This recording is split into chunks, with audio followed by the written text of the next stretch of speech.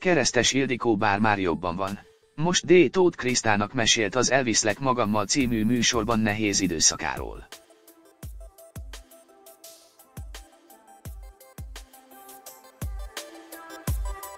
A vállásom után fél évig konkrétan az életbe maradásért küzdöttem. Mondta keresztes Ildikó D.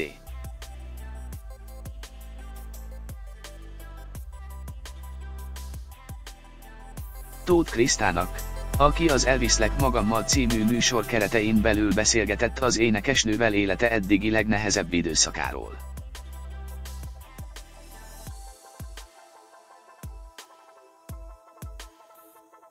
Mivel közben körülötte folyamatosan zajlottak az események, X-faktor, színházi munkák és koncertek tömkelege, nehéz lehetett észrevenni, mennyire megviselték őt a történtek.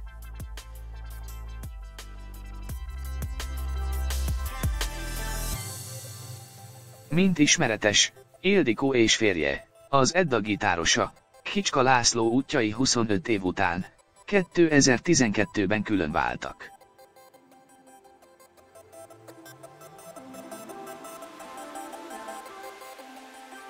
Ahogy a mondás tartja, csőstől jött a baj, nem sokkal később elvesztette édesanyja párját, akit apjaként szeretett, imádott kiskutyáját, Füllest, és édesapját is.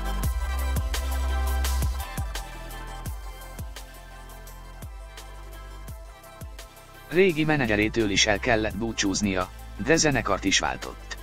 Ezeket mind-mind gyászként élte meg.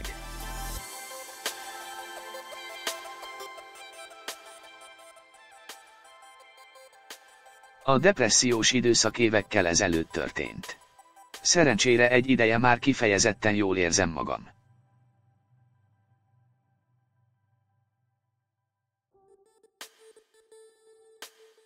Mesélte az énekesnő a borsnak, majd hozzátette.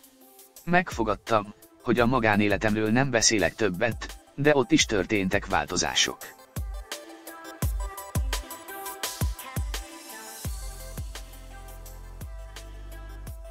Ildikó újra ragyog, azt viszont sajnálja, hogy ezeket a döntéseket nem tíz évvel hamarabb hozta meg.